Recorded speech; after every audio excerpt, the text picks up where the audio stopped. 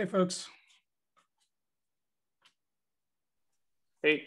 Hey, how's it going? All right.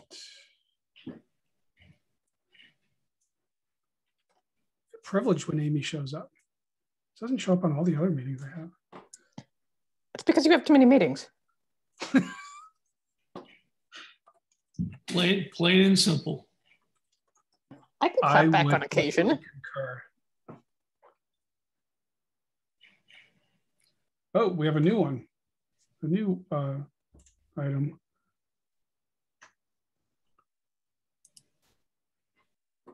All right. Uh, we seem to. That's only two minutes after. We have a pretty packed agenda, though.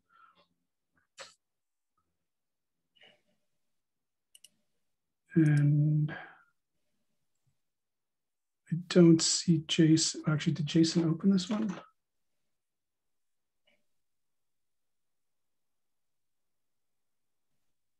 Who put the I added this there. but, I mean, we we discussed it a few weeks ago, and the PR now exists, and so I think we should. I, I would like to just force people to review it at some point. Uh, we could have that go into a discussion zone, but uh, it is an actionable thing to review now. Fair enough.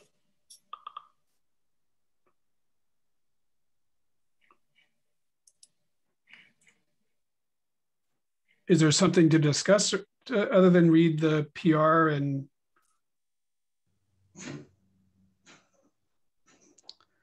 Um, I'm just thinking maybe we leave the PR change. open for a couple of days, let people comment on it.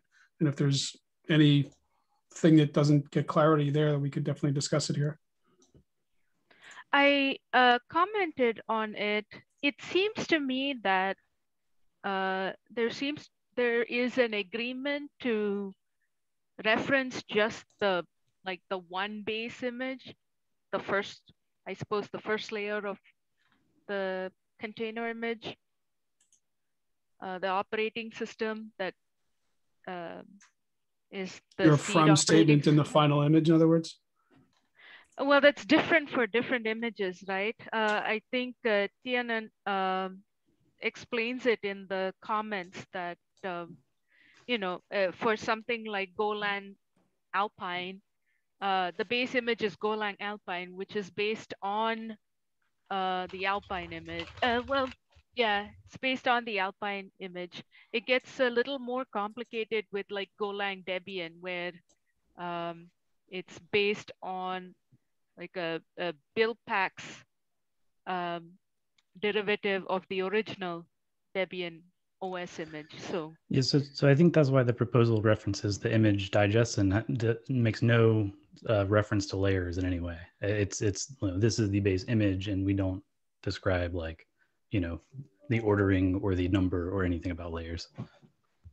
but um, I mean that kind of the from line kind of solves that, doesn't it? Um, you get it you get it in the build history of the image. For Docker. I- I- I- Well, actually, actually, no. I take I take that back. Yeah, you don't you don't get it in the actual image uh, history, but you but if you have a you know equivalent Docker file, you can figure it out. But yeah, okay. It'll be in the manifest if it's placed there. yeah, the, the build history stuff relies on like the client populating that and knowing how to. And so I think kind of pushing this out of the config and into the manifest makes it more of an OCI concept than a Docker concept, if that makes sense. Yeah. What what was the conversation on the from statement in the final image versus the multi-step? So you So, uh, have source that's you know you have an SDK, let's say that's building it, and that's part of the output. Is that we said we are going to capture that in an SBOM, and this was literally just the if the base image of this thing has been updated, we want to trigger a build. Is that was the idea? Uh, so I, I discussed this with Jason a lot, and I brought him around to my opinion about this. And I don't, I would be interested in other people having opinions because I'm not always right. Um, I think that uh, the way to solve the concern of like there are actually multiple base images is to express multiple base images with this annotation. And so what I would like to do if I were to write a client to take advantage of this is to say like split on a comma or something. And now I have a list of base images that maybe they're not base images, but there's some dependency at build time that I had on this image. And so in some cases, that means you can do this magical automatic rebasing stuff. But in all cases, you can know that if any of these images I depended on at build time have changed, that means something to me and I should probably rebuild my image. And so I think that's a kind of a simple general concept that is useful and addresses the, the primary concern, which was about, you know, not all images have a single base image. What do we do? Well, there's a difference. Is what I'm getting at is what, what Nisha was kind of talking about is Golang depends on Alpine. Let's say I don't remember; it's not important. The point is, is that there's that history, and that's that I'm not as worried about because if you take it if you include the Golang one, for instance, then you are picking up the others implicitly. The, right. It, it's a the question I was more referring to is the in the multi-stage Docker files, we have all the other from statements that are used to compile your code that gets put into the ultimate. So if you have a, a, an ordered, not an ordered list, maybe that's the answer. If you have a comma delimited list, then how do you know which is the one it's actually on as because that's the content that's in the image versus here's the other images that were used to build it. Yeah, I don't maybe not think, care. I don't think that was in the scope of this. Right. So so what what I suggested, and um, I'll, I'll I'll address Steve's point. So I, I don't want to think about this in the context of Docker and Docker files because I think there are many better ways to build images, and this should be general and apply to those ways as well. Um, for Docker files and Docker build in particular, yeah, like you would basically just look at every from. Uh, it, basically, any image that you need to pull down should go in this list, regardless of like if the layers end up in there or if it's just used as an intermediate step for, say, getting the Go compiler to produce a binary. It, it regardless, it's a build time dependency, and so like it, if you know that it has changed, then the output of your build possibly will change, and so you can know, hey, I should probably retrigger a build or something. Um, in in the simple case of like I have one base image from and I am appending to that thing, then yeah, like you can do more interesting stuff where you know the file system contents, but I don't think it's reasonable to specify that. I think this the relationship that this annotation expresses is uh, more powerful if it's simpler. And, and the, simpler part is I have a build time dependency on this other image. Um, and so then we don't have to talk about like, what does that mean? What does it mean for the base image to be a base image? We just kind of skirt that problem and, and it addresses multiple concerns. Uh, I forgot what Nisha asked. Sorry. Oh, okay. So I am actually, I actually think like the base image thing is different from the multi-stage build thing. Um, yeah, and, and, so what I'm proposing is basically a, a generalization of these two things. Like I, we could have like multiple annotations or something, but um, by simplifying the base image proposal to be less specific, we can cover both bases uh, and write more generic tooling. Um, maybe that's not the right and approach. What would you do? Because like, to Nisha's point, like we support this with uh, tasks where there's uh, a base image dependency for the content that's in the image that's actually you know in the image you're talking about, right? That's in many ways the most. It's not the, well the only important thing, but it's considered one of the important things. There's an optional way to say I also want to be triggered if any of the other images, I call it SDK images, but that's not a good example. I can't remember what we call them so I'm, I'm just asking, I think there's a delineation between the two. I'd be fine if we said it was just the true base image because there's, no multi-inheritance. It is a single one. Um, but I think that that should be clarified and, and leaving it kind of open with should or not. It, that kind of makes it hard for tooling to know what I, to do with. I think you're you're really tunneling in on very Docker specific things that are specific to the implementation of Docker build and not the format of the image. Where like the the produced layer could be inherited from a base image, and that's fine. I mean, like we could de- describe that as a separate concept, but in terms of what tooling you want to build, I don't know that it's interesting. Like we could lie. I don't know. It, it just it doesn't seem like a useful distinction to make to me. But I, I would like to understand why that's a useful distinction. Because for the use cases I have in mind, um, just knowing that it is in this set of images I depend on, whether they're base or SDK, is is useful enough. Um, and, and you can so you can determine which shared layers there are by you know querying the registry and say, oh, this one has these layers, and I so I do too. So you can you can figure that out without you know having that specifically called out. So one of the things that um, we do in Tern is uh, try to figure out from where the from where the layers are imported and where the layers were built. Um, and to that effect, it would be useful to know like which digests are the the base which digest of this whole image corresponds to the base image and i don't know whether this um, addition of annotations i don't know if the schema allows for that uh, do you have any comments yeah on I, that? I, I, um, I think the original one was exactly what you're saying and um, I guess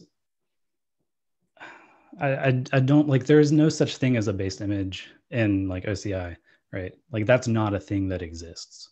Um, it, it is a implementation detail of like a Docker build. Like you can build Docker images with Bazel that don't understand like there's not really a base image, right? You can get an equivalent thing, but there's no notion concretely of what a base image is. We could define one and maybe we want to do that as part of this proposal, but like I think it's moved in a better direction. We're describing relationships between images instead of like having to describe exactly what it means to have your in bottom layers correspond exactly to the in layers of a separate image.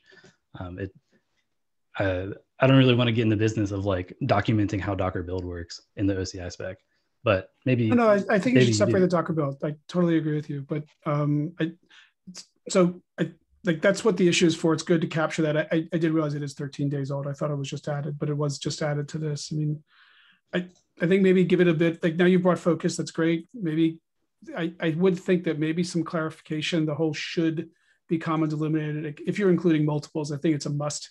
Like otherwise, tooling doesn't really know how to to deal with it. Uh, Yeah, my, my aim was to just get people to review it. And so uh, we don't have to discuss it now. We could discuss it next week. I'm fine to table this for now. Yep, that's cool. I just there's a lot of stuff on the agenda, and we, we try Yep. to save the section for like you know a thumbs up, thumbs down kind of thing. So, all right. Uh, the next one was yours also, John. So the data field. Hi. What was Um, the topic there? yeah, let me find this link. Um, so I talked to Steve, not you, Steve, the other Steve, uh, Steve, uh, and and I was asking like, what is this reserved data field, and do, is it what I expect it to be? And it turns out yes. Um, so there are some use cases where like I have a descriptor that points to a very small amount of data, and it is a shame that I will have to do a separate hop to go fetch that data, say 100 bytes. Um, so I think the intention of this reserved data field was to just embed in the descriptor the content that is described by the descriptor so that you can just have inline data and not have to do this extra hop. And so this is just an, it would be a performance optimization if we spec this out. And I think it'd be pretty simple to spec it out, but I'm interested in other people have looked at this or thought about this and wanted to bring it to the attention of folks. I would like to send a proposal that we define what this data field is for, and then I can start using it uh, in other places. I have some concerns around like, you know, do for for a registry, right? If this descriptor has data embedded, does the registry expect people to have also pushed that data to the to the registry blob store? Um, it, it would be nice if you could have like the foreign layers concept applied here, uh, but there are a lot of things to discuss if we open a proposal. But I just wanted to talk about that briefly and see what other people thought. I mean, I like it. This solves part of the problems we've been trying to, although annotations might have solved it. This is the, in a notary V2 case, how do I know who signed, you know, which, who signed that particular signature so I can filter on it. So, and this was the thing we've been talking about in the payload response. Like, do I need to return a whole manifest just because one of those elements is interesting? Um, in a notary V2 case, you could say that the data element was used for this. I think the question will be, like, what is the max size? Can I stick a string of bytes that represents a VM in here? Um, so there's probably some constraints we'd probably have to put on this, but I, I like Yeah. it. Yeah. For for small data, it seems to make sense, but what small data means is context specific. Um, I don't know if you heard more from, I'm, I'm assuming you were talking to Stephen Day, but Yeah. was the proposal here that you'd have the data there and then you wouldn't have a, a digest for that descriptor at all? Or you would You- have you would. matches the bytes of the data as well? exactly. Yeah. So the it would that would just be embedded content that would be exactly as it would have been if you had to fetch it from a blob store. If you're then like looking at a, a like an index that contains that descriptor, would the would you compute the digest of the index by taking out that data field? Uh, no, I don't think so. I, so like, it's nice that this is in the descriptor and not like somewhere else. Like, uh, I get what you're get, getting at. Like for a canonical index manifest, it would be nice if the embedding of data in a descriptor didn't affect the digest. Yeah. Um, I think that gets into like very tricky territory, and I'd like to avoid it. And just you know, if if the author of this artifact decided to embed the data, then that's that's what the artifact is. It has embedded data. Um, for some cases, like with the listing proposal I have, where I want to return a set of descriptors, in that case, we could leave it up to the registry whether or not like they're going to embed some data in, in that return type. But um, yeah, I don't think we should get into the business of canonicalizing the artifacts. We should just be dumb and say, ah, yes, this, these bytes, I can move them around and not think about it. Thanks.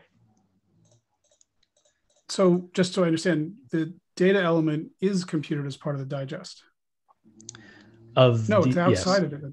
Well, Right. So it's a pointer, right? And so we have it's it's data about the thing being pointed to, not data about the thing that is pointing to that thing. So like it would if you have say a manifest list, uh, this is multi-arch specific, and you wanted to embed all the manifests in that so that you could do it in one hop instead of two. Um, that decision whether or not to embed it would affect the digest of this outer manifest list, but not the inner manifest. And so it, it's not a like optional thing that Right. you can ignore. It definitely affects the content. but only in the manifest list. Like I'm trying to visualize this now. So if I have a manifest, the manifest, the digests that are in that manifest are the blobs. I have to look look this up. Anyway, So so I'm- why don't you make a proposal, John? Because Yeah, I'm gonna open an issue. Um, I just wanted to float that by see if anyone thought it was a terrible idea before I open an issue. Wouldn't that mean that different uh, digests may indicate different uh, tools looking for different uh, descriptors? It certainly affects the reproducibility of certain things, right? Like if this is a decision you make as a client whether or not to embed the data of the thing you're pointing to, um, then like I'm not going to produce the same artifact as someone who doesn't try to embed the data. But uh, like in terms of once you've pushed a thing and now you're referencing it, like there's no problem there. Like it's not like trying to embed a signature in the manifest. It's you know we're we're pointing to stuff already in the DAG, and now this this node in the DAG is slightly different than a node in the DAG that is equivalent but doesn't embed that data. And we already have that problem, right, with JSON formatting and all kinds of things uh, and ordering of keys. And so it doesn't really add a new class of problem. It's just it, you should. I don't think it's really a problem. It's just like some people expect that they're going to produce exactly the same content as Docker every time, and that is a terrible assumption to make. And so I'm happy for this assumption to be broken in another way. Uh, what about? if I look at uh, a, sorry, Ganesh, go ahead. Well, I mean, yeah, it, it I'm concerned about like just general like identifiability. Um, how would a how would a person know that how would a person know the difference between uh, you know one image and the other image when the only thing different about them is that the data that data field is in one versus not in the other and not in the other. I, I, would argue they're different artifacts, right? Um, we have this problem already with compression, right? If I gzip with fast compression and you gzip with best, or if you gzip with z standard, like they're functionally the exact same thing, but they have different digests. Similarly, like if you add a label or an annotation to a manifest, you've changed it and it, it has a new, it expresses a new thing, even though they are equivalent. And so I think this falls into that class of problem where, you know, we are adding data in the DAG. And so parts of the DAG are affected. But like, it's nice that I can distinguish between a manifest list with embedded data and a manifest list without embedded data, right? They're different things, even though they're reasonably equivalent. But just to show we're saying the same thing, because I thought I heard you say like a registry might add something to that. If I submit a digest, sorry, a manifest that has a data element in the descriptor, that changes the digest of that manifest. So that yeah. way, so as long as I submit it with the data, it goes into the registry, it never gets changed, it comes out of the registry, it never gets changed, then life's good, right? The, yeah. the digest all computes, everything's good. Did I not hear you right? So, Did I yeah, say something at the registry could insert What something? I'm saying, so in, in many places, I think descriptors are useful and I think we should use them more. So for the listing proposal I have, um, instead of just returning like a digest or something that, that would make sense, I think we should return an entire descriptor for each manifest. Um, and so in that case, because like the you're not making any claims about like the the listing response content, that's dynamic and like the registry controls that. Um, the registry could make a decision to embed some data in that response or like even with the link stuff right? Like as long as it's not part of the content addressable store um, clients and registries have some freedom about whether or not they embed the data and it shouldn't be a problem. But for stuff that is in the content addressable store like you know it has to stay with that digest you can't manipulate it in any way even if okay. it would be nice but like listing I, tags. Just I encourage back to go back to the, you know, this is the the caption of the requirements thing because I agree. Just yeah. returning a descriptor isn't enough information. If I have a collection of signatures, I don't know which one I care about. So now I've got to fetch each one of them. That's an expensive in operation. So that's why we're in this right. longer debate. Do I return the whole manifest? Which, by the way, I realized I forgot to include the digest of that manifest, so I'll have to fix that. But the um, Jason in the chat. I always love Josh to add the comedic uh, element to it. Um, anyway, I it, I guess just write it up. I think it's a good idea. I, yeah, I will. Cool. Anybody else on that one? Just I'm I'm trying to move on to things we can do quick. Oh, we skipped the content encoding discussion, but uh, it's a long one. I mean, oh. we can go into Josh's thing and then go back to that if we have time. I don't want to monopolize the entire. Uh, well, Josh's thing is my thing as well. So I, it's just John's OCI meeting, I guess. Um, yeah, I'll, I'll cede the floor uh, to Josh. no, Let, yeah. Let's share with Josh. Go ahead, Josh. Okay, yeah. So both of my things are pretty quick, so we can go back to the content encoding thing. Um, so yeah, it looks like John actually has um, resolved this issue in the past 30 minutes. So um, I went ahead and improved this PR, but it's basically related to the deprecation. I guess we're not going to deprecate it. We're going to just reorder it. Do you want to? Does that make sense, John? Am I describing that? Correctly? Um. So the the first thing was to reorder it, just because I, for aesthetic reasons. Um. But the more important change is that second commit, where uh, I clarify that a client should uh, expect to receive a 201 or a 202, and those mean different things. So um, I, I, get them confused in my head when I'm not looking at it. But um, one of them okay. is, oh yes, I I accept this single request monolithic upload. You're done. And the other means, I don't know what you're talking about. Please send me a put request with actual content over here. And and so clients must respect that. Um, I guess registries must return the correct code, and clients should do what they want to. No, I yeah, I I looked at that. Um, we can we can carry on the PR if you could though. There's an open PR from uh, Wang from uh, Harbor Project, and I think it's related to this. If you can see if those changes reflect what you're um, proposing. Because Can you link to that, it somewhere? Yeah, I, it's. I put it in the chat.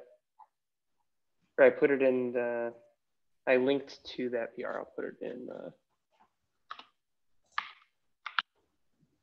HackMD too. Um, because yeah, so this and that, and I just added a thing to switch our branch names to use main. Um, I think that's all we, I think that's all we're gonna do for the final um, release before 1.0. So thanks for, thanks for doing that PR.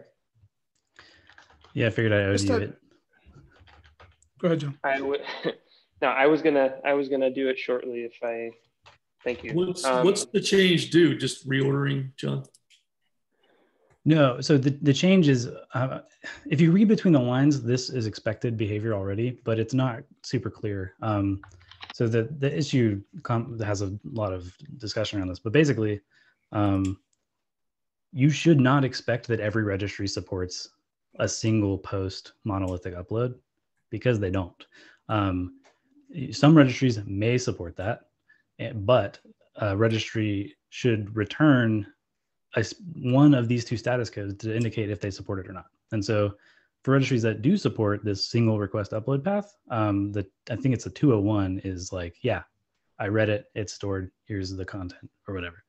Uh, registries that don't support single monolithic uploads, nicely, if you if they just pretend it is a post then put flow, um, th- they can completely ignore this and just do what they expected the client to be doing, as long as the client sees that response code and says, aha, a 202. I need to follow the location header to send a put. Um, it is just making it more explicit that like some registries will return a 202 here and you need to handle that as a client. Okay, so you're just adding a little more context to this particular portion of the Yeah. text. And the Personally, first I'd like- just reordering it. Yeah, th- so there's two commits. One is to reorder it because like the method that no one supports and no clients use should not be the first method we describe. Um, Okay. and I think that's uncontroversial. rather than rather than reorder it, I, I might have just added a note comment saying I- that I was trying to figure out why are we moving things around. yeah, I, I split it up in two commits so you can actually see the change. But, but I, personally, I'd like to remove it, but I don't know that I can get everyone on board with that. And so if I can Whoa, whoa, remove whoa, or I think the it, last, I thought I- we I did would like to to remove remove- it and just mark it as reserved, like we did with catalog. I mean, we we talked about that in the call, but like uh, Derek mentioned on the my issue that like the best behavior is probably to do what I've done. Um, I can remove it, or but I I don't know. I we don't have consensus, and so if there is consensus that we should remove it, please comment on the PR issue, and I'm happy to do that. I was under the understanding that we agreed to remove. Um, maybe at least we do it in the test so people can pass the tests who don't support it. Yeah. Um, Yeah, yeah I, that, that's one of the like original points of this, right? Is the test. I was like, this test doesn't make sense, and then I realized why, um, and so this clarifies that a little bit. Fair, fair enough. Yeah. Um, but yeah, I mean, So I'm, I'm happy to there, follow up. with at the least for removal. here, do we think remove with reserved, just like we did with catalog? Well, the thing So you is, it it has been acceptable in the past, and now we're we're pulling it out of the specification, right? So is catalog. Right. I- This is I'm happy with- a little more common, right? Yeah. Pushing- Is it? That's what I'm asking. I'm not, some some registries do support this. I mean, catalog in particular is like something we want to replace with a different mechanism, and like no one should have been using in the first place.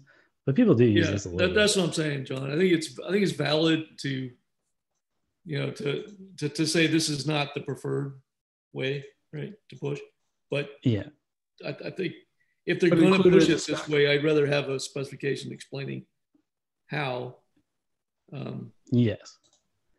okay. and and my PR, I tried to. If there's a way to make it more explicit, I, I was reading through the RFC about how to write an RFC, uh, and I, I wasn't sure about the language specifically. But um, if there's a way to make it clear what I'm intending, that like clients should probably expect not to have this be supported, and here's what to do if it's not, and here's how registries express that it's not supported. Um, Yeah, I think that can be, plain language is probably okay as long as you put it in notation format. Yeah, yeah. I, I would love someone who's more familiar with that to review this because I'm not 100% confident that what I've written is correct. Um, Okay, I'll give it a review. Thanks. Yep. I, I'd also I like the idea of moving it down for for people who just don't want to read too much. It's you want to read the thing that until you hit something and you start executing. If they start executing on that one because it's the first in the list, it's you know I don't think that's the intent we want to send here. So I, would also 40, yeah. put it down the bottom of the list that people probably won't even get to anyway. And if they do, if they read that far, then they should read the annotate the, the extra text that says you probably don't want to do this. Cool. All right, I think that's that one. We're good. Yes. Um, yeah, so uh, just on that topic, while I'm there, um, I dropped a link for the milestone for the RC, and that's uh, literally one of three items. So we're really, really close. Um, two weeks ago, we had merged um, a new README in distribution spec as well. Um, there's an intro section in there that I uh, I'm particularly uh, it's new content I'm particularly proud of, but it kind of goes through the relationship between the three specs and artifacts, which um, for a lot of people coming in to OCI, they're thrown all these terms. And so um, Jimmy had mentioned that he'd maybe like to see something like that across all the specs. But um, if you haven't seen the new README, check it out. It's based on uh, the image spec. Um, and then the other topic, really quickly, we brought up a few weeks ago um, the ORAS project and whether it's been an ongoing year long plus. Um, will it will it be open containers, official code, and things like that? Um, been having a lot of conversations with Steve and others, and it sounds like the general uh, thought is that it should not be open containers and that going forward, uh, the open containers organization should mostly be README spec stuff and less code. Um, yeah, I don't know if anyone wants to elaborate on that, but we've kind of, we've been talking about potentially uh, getting it into CNCF as a project so that it's um, a little bit more official because it's one of the building blocks of the Helm integration. So um, yeah, there's there's a lot uh, there, but um, I have been talking to Aleksa um, and we have been discussing potentially baking what the Skopeo uh, copy functionality does into umoci. Um, and then potentially once that uh, becomes more mature, maybe that can be an open containers uh, pure distribution spec client implementation. So um, we just said we don't want code in OCI, so I'm not sure why we'd add more. Um, yeah, that's a good point. I think the the thing about ORAS is it has like kind of a unique API, and I don't know.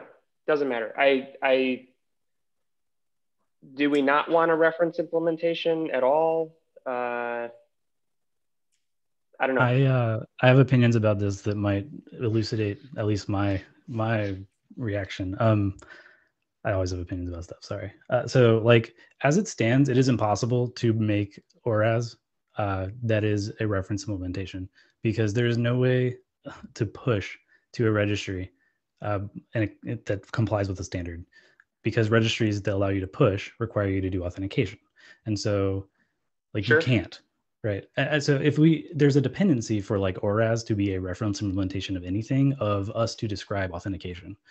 I, I mean, you know, technically you can make a registry that doesn't require authentication, but no one's going to run that and no one's going to use that. Um, but all registries support basic auth. Like um, ORAS works today for this.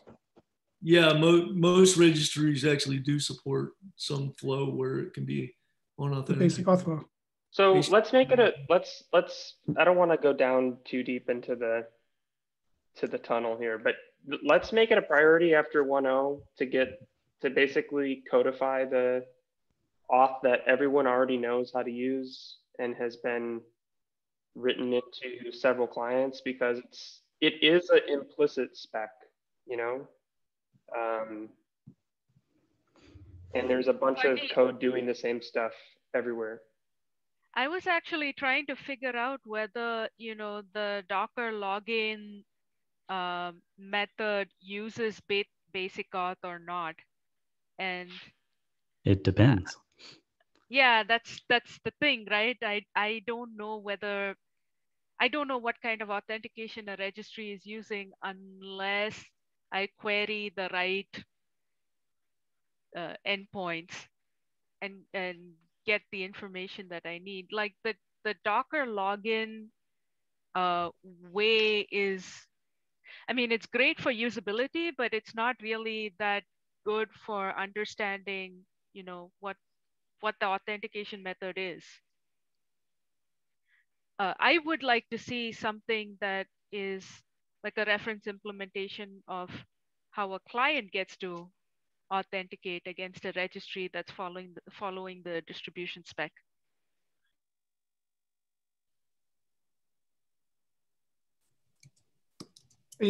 so here's we've so Josh convinced me that there is a timely sensitive sensitive to this. So I've been kind of putting it on the back burner because I know we've got some changes coming. I'm not sure where the PR is sitting right now, but there is some stuff coming in for us that we'll try to do some of this cleanup that we can factor it out because um, that was one of the action items from the last time.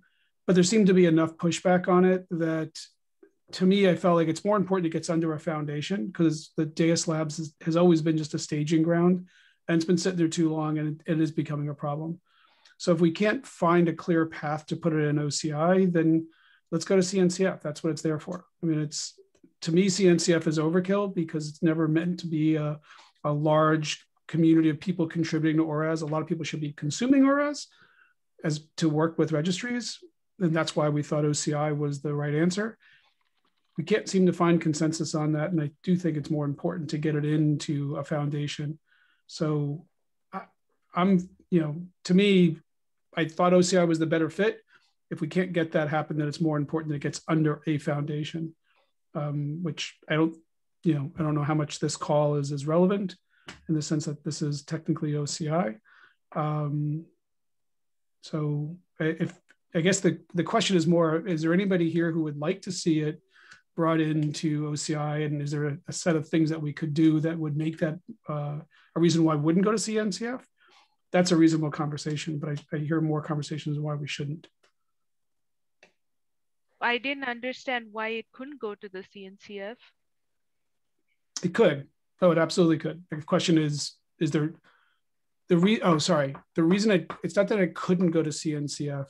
When we scoped this in the TOB several months ago, um, the discussion was OCI is more around the specs that are there and you know does this conform to those specs it pulled in some other libraries and other things that wasn't intentional we can factor that out but the idea is in, OCI, we're not going to get like a lot of marketing coverage. We're not looking to be a tile on some big CNCF kind of wall. It's a few projects in there meant for a few people to use in a lot of different places. CNCF, there's a lot of people using a lot of projects, and there's a lot of marketing budget and coverage. automatically get talks at conferences and so forth. That's kind of overkill, I think, for what we're trying to do with ORAS. Um, but it, it needs to go somewhere. And if we can't get it here, being this is the OCI call, then let's go the other. Well, what do you think now that distribution is going to CNCF about it being basically a library and example client within the distrib distribution project? The problem with the distribution, so I love that distribution went over. So it's not that there's a problem related to that. It's that um, it's really for the spec. It, this distribution is also a, a you know a, an opinionated view of the distribution spec. I don't know if that's a right way to say it. So I don't know if it should go under distribution because people will use it having nothing to do with distribution. It's really related to the distribution and, and uh, artifact specs as opposed to the distribution implementation. So I don't know if it makes sense to go into the distribution project as opposed to it could sit alongside it as another pro- another project in CNCF, but I didn't see it being in distribution. Yeah, I, I was just more thinking that in that sense, you don't have to worry about, you know, carrying sort of a whole project for something that, you know, is mostly consumed by, well, like you said, there's a wide array of people who probably want something, uh, you know, a small library like that, but, you know, maybe doesn't rise to the sort of breadth of, of a full CNCF project. And the, the, the question for me is whether the CNCF will question why isn't it back in the OCI? right? I mean, Chris did kind of direct us there. It's like, look, he he also saw, it. look, it needs to be somewhere. If you can't, and he saw the struggles we were having to get it in OCI, so he was actually the one to suggest CNCF. It doesn't mean he's the only vote that you know, yeah. So, it, so, so I think I so I think it needs to have clear articulation as to what uh, why it should belong in CNCF and why it doesn't belong in OCI in order to be successfully accepted there. So I can speak to some of that. I've tried to stay quiet and let you all kind of work through things. I would take a look at the sandbox proposal and see if that's a really good fit for what it is that you guys are currently looking at now. Um, and the reason that I say that is because we have another sandbox inclusion meeting um, end of the month. So March 23rd, got some time. Um, not a ton of time, but enough to be able to look and see would this be a fit right now? And what other things need to change in order to be able to say yeah we can make this a sandbox project?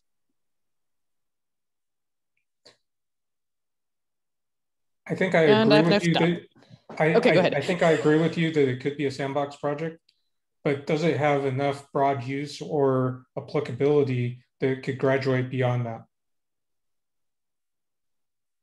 I would, um, I don't know what, uh, how do, how do, how does one advocate, I mean, not advocate, but, uh, you know, um, prove wide use?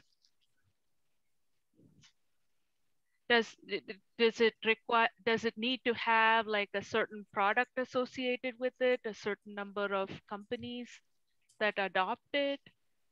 Um, yeah, how, they, does, this, they, how they, does this so, so this this isn't the CNCF call, but the the CNCF uh, TOC definitely has criteria to move it to, into an incubation phase and then to a graduated phase, and you know it would it would have to pass through that review in order to move forward.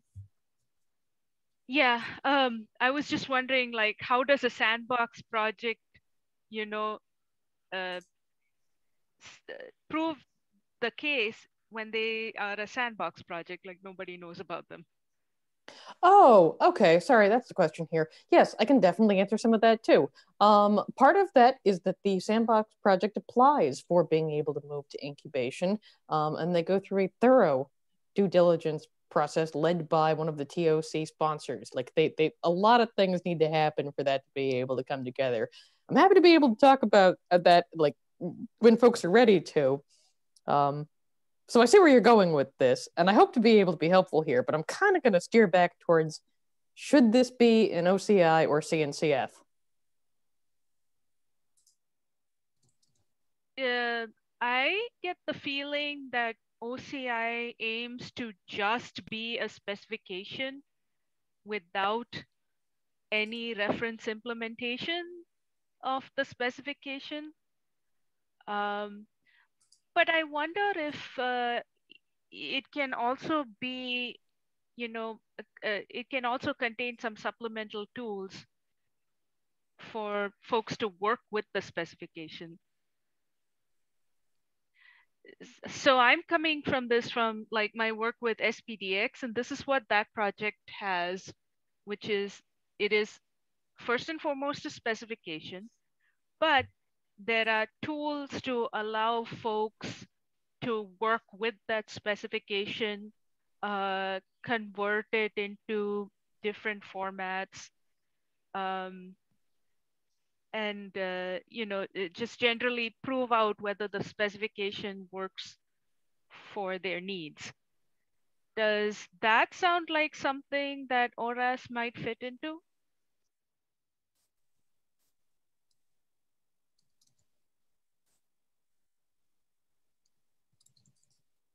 Josh, you want to, you've been the one pushing on this the most. Do you want to speak to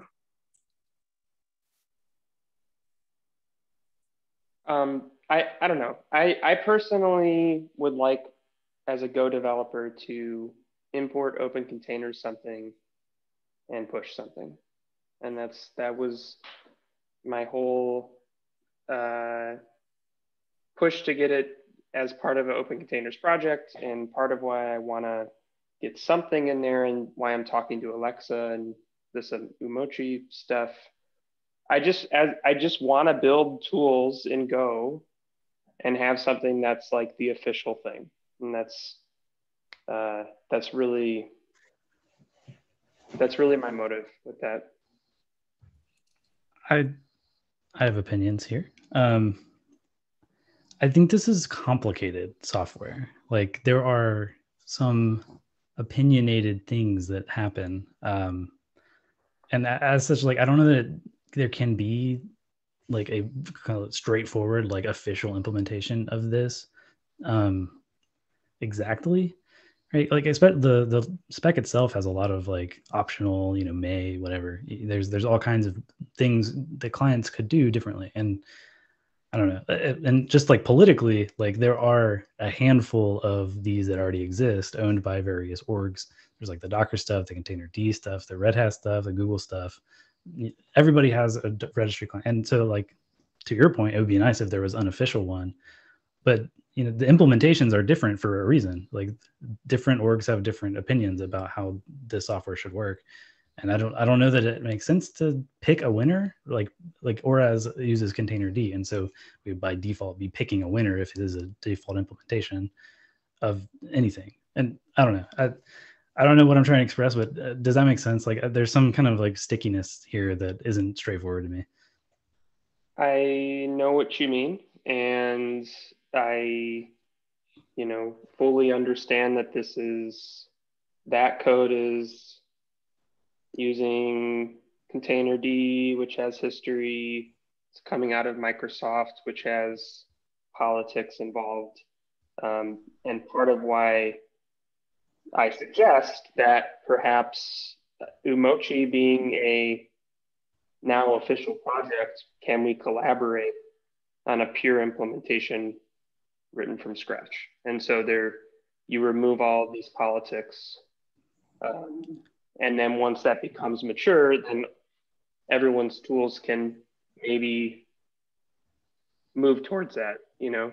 Um, I would be interested in that project existing. Uh, I don't know that we want to like by fiat to declare it under OCI, but I mean, I would contribute to that probably. Um, Here's the basic thing. We just we need like, and I put this in the the chat session. I don't think we would have seen so much adoption of artifacts with all these different types if Josh and Shiwei didn't put this thing together over Christmas a couple of years ago. It has since expanded because it would never had an official charter and everything. So there's been a bunch of stuff that got contributed to it. So it's it's kind of a, a bunch of stuff in it now, and you know it'd be nice to get that cleaned up. But at the end of the day, the success of it has been that I can push and pull um, artifacts, non-container artifacts, into a registry. And as far as I can tell, every registry I've seen has now been able to support that because they basically supported it anyway. It's just there's now a documented you know way to do it, and there's a CLI. Sorry, there's a set of APIs that enable it. And the beauty is only the artifact authors need to implement it, right? The end user that uses Helm doesn't need to know anything about this. They just use Helm and it just works. So if we can, you know, scope it down to that minimal set of stuff, you know, I think that's has always been the intent. But it, to John, to your point, is that it there's a certain set of capabilities that do need to exist across all registries, or they're just they shouldn't be called registries. I mean, they, whatever you want to call them. But we need the whole idea here we're trying to get to is we can build tooling that consistently works across all registries the Docker client happens to work across all registries because there's an expectation on that for push and pull, for instance, or you know whatever APIs. we want to be able to do things for other artifacts. We want to be able to enhance that experience. For instance, you know, the tags and the manifests and the other stuff, so that you can see this ecosystem work across a set of registries. We get ourselves wrapped up in what we may or should or must, and it makes it very difficult for anybody to write anything consistently.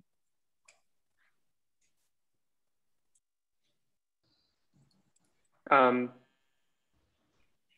yes. Um, yeah, I, I think that the, you know, purism aside, the, the project has had traction and, you know, the Helm, the Helm implementation rolled out like in 2019 and we're finding that it's uh, being supported like all over the place and it seems to just work. And that's thanks to the, the you know how well containerd's libraries uh, support all these different registries and edge cases. So i don't think we should throw it in the garbage but i think we should throw it into a foundation so that it gets uh, the love and if that means it's not its own project because i agree it doesn't need its fanfare and can we stuff it into a folder in containerd or distribution and be done with it and move on? Um, anyway, I'm gonna time check myself. Uh, yeah, I don't. I have, I have nothing, I have nothing sure more to add. Reference really. implementation wouldn't work thing, John. So, I mean, like if uh, what bugs, I'm hearing is, right? is there are bugs encoded in clients, and so if we do a reference implementation, we have lost what Josh was saying the the history of containerd being backward compatible and broadly compatible. So like if if we have a pure reference implementation that doesn't take into account how broken most registries are under the hood, um, it's not useful because it doesn't work uh, without accounting for those the reality of writing a client that works across all the registries. Oh, that, that's a that's a fair context, but I think the, the, the point of the distribution specification and any reference implementation is to actually have it be functional for existing clients. Yeah, we failed right. that, then then then we failed as a project. It's not it's not that the reference implementation has failed. Um, by the way, right, yeah. has the same issue today, right? Run, runc is the de facto standard. The runtime specification doesn't specify everything needed to do a container runtime. To get the actual details, sometimes you have to look at the code. And I think that's what we're all hoping for, right? Is we have some code to look at so we can find out the details that aren't, you know, specified in the spec. Yeah, I I have a list of them in my head and, and, and an issue I filed, but like there's there's a lot of stuff that is not specified that you need to know to write a reference implementation, and so like yeah maybe it would be a useful exercise to improve the spec to try to write one and we'd stumble immediately. Yeah we, we tried to do that john. I don't know if you were there at the beginning. You know, it just it gets it gets really hard. People get upset about the choices that are that were made in the past and you end up with this you know you can't move forward thing so, i'm also frustrated with the state of reality uh, it, it's that's it's sad but if you want a clean spec then it it's not going to be useful if it doesn't express the stuff. Not when the reference right? implementation is. Right. And yeah. we can try to improve the state of the world, and that's going to take a while. Or we can try to embed the knowledge you need to write a working client, but then it's not a clean spec. I don't. I don't know. I don't know what to do. It's hard. I have no opinions that are useful. I'm just complaining. yeah, eh, but I do. I do think we need a, a, a ref. We need we need a reference implementation for you know. The, and, and that was really why I believe the Docker guys initially, you know, put push forward their their spec to you know to us. Say, hey, hey, go you know go handhold this a little bit. Um, and then you know the good thing is, like you say, you, distribution is now in CNCF, so uh, a lot of potential there but it needs to be refactored and cleaned up. It was seems to be. I think we want to do that regardless. I mean, it's just a matter of people spending the time uh, to to get to it. Um, that's always been a challenge with these things. Look, I you know the, the fact there's even an implication there's some politics around ORAS and Microsoft because it's there. Like that that's the main thing I just want to absolutely avoid. So.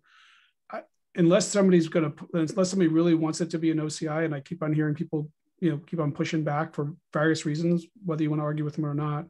That that's the part that I just don't want us to get caught up in. So to me, I I'm fine going forward with CNCF, and if it sits in you know um, uh, I to say incubation, you know, for uh, a while, and at least it's under a federation that uh, has some governance around and there's no no implication of politics whatsoever. This was never intended to be a Microsoft project that we happen to occasionally take contributions from others. It has always been a true open source project that it, it, we were 50% of the contributors. It was basically Josh and Shiwei. And there's now others. It's great. And we want to support more of that. So yeah, horse needs to grow. So uh, Josh, I think let's, I, I, my suggestion is go through the CNCF process and let's see what that turns out. Um, I'm going to defer to you on that since uh, it's a Microsoft license. Um, somebody stuck a string in there after we, we created it, and uh, I'm not um, exactly sure why, but it's. But I, I'm, I'm glad we had this nice uh, conversation, but I was mostly with that point just trying to report back on what's uh, what's been going on behind the scenes in the shadow organization of, of ORAS. So. Um, I would request that uh, interested folks who would like to comment on the content encoding stuff take a look because I think it's an interesting suggestion and would fix the Z standard problem uh, that we have not solved yet. And so please take a look at that link. Why don't you move that? that that's a bigger discussion and it's a good discussion. Why don't you move that to next week, John, and we'll we'll make that the first big item for next week. I did want to point out to you, John, there, there's an issue on the uh, you know, labels and annotations having a physical limit. So when you start adding, you know, commas and lists, whoops, 409 yeah. is the current limit on most of the runtime. So yeah, I I think possibly some of this stuff becomes an SBOM or something. I don't know. I don't know. Yeah. Well, it will be SBOMs. The question is, do you have to have an SBOM to get this basic capability? and and I think that's the part that I was I was trying to remember. Maybe we should go back and listen to the video. I was trying to remember. We, we came away with some way to determine the separation between the from statement for the image, and I know it's Docker based, but what are what are the other layers that this thing came from versus the things that went into it? And for better or worse, the multi-stage Docker file is used pretty popularly. So having some conversation availability for it, so you don't have this, you know, list of strings which um, make you know, I, I guess I'm not a fan of the list of strings in this one. I'm more a fan of there is one base image. This is the thing you should absolutely trigger. If there's other additional things that you might optionally want to rebuild based on, I think that's great. And separating those two out would be my suggestion, but I'll add that to the PR. And um, we're good for this week. Cheers, everybody. Thanks, folks.